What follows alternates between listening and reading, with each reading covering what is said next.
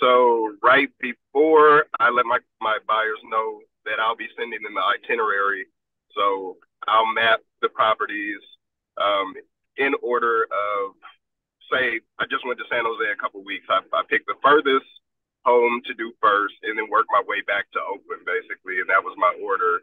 Um, and then beforehand, I'm also taking notes. I, I have, I do all my work in my iPhone notes.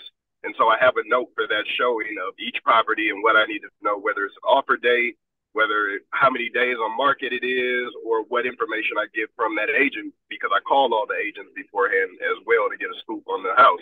I don't want to show my clients a home that they can't even get into. So I, I make sure I do some due diligence before we go on those tours. So then by the time I come back to the client with our itinerary, I can already say, oh, this house will be in contract, but they're looking at backup offers, or this house is expecting to accept an offer non-contingent, we might not want to go see this one today. Is there another one you want to go see? So I do some due diligence beforehand.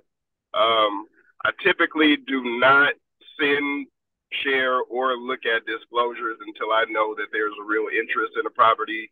Um, it can be overkill sometimes, and it's a lot of unnecessary work for me sometimes. So I'll wait.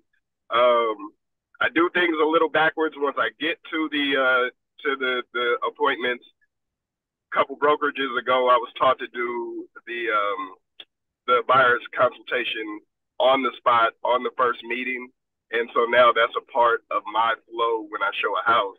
Is I'm asking all those fact finding questions as well as answering their questions, and that's my small talk. I don't have a lot of dad jokes or anything. I just I, have my flow, and that's that's pretty much my consultation. So after that, after we do our showing and we've looked at these properties, I've taken notes inside of that that uh, iPhone note, and I know what they like, what they don't like, what they might want to see disclosures on, and so I recap it after we see our last property. I'll follow up with you on offer date, questions you had, disclosures, whatever it is. So there's a recap what actions we're going to take after we leave those uh, after we leave the showing.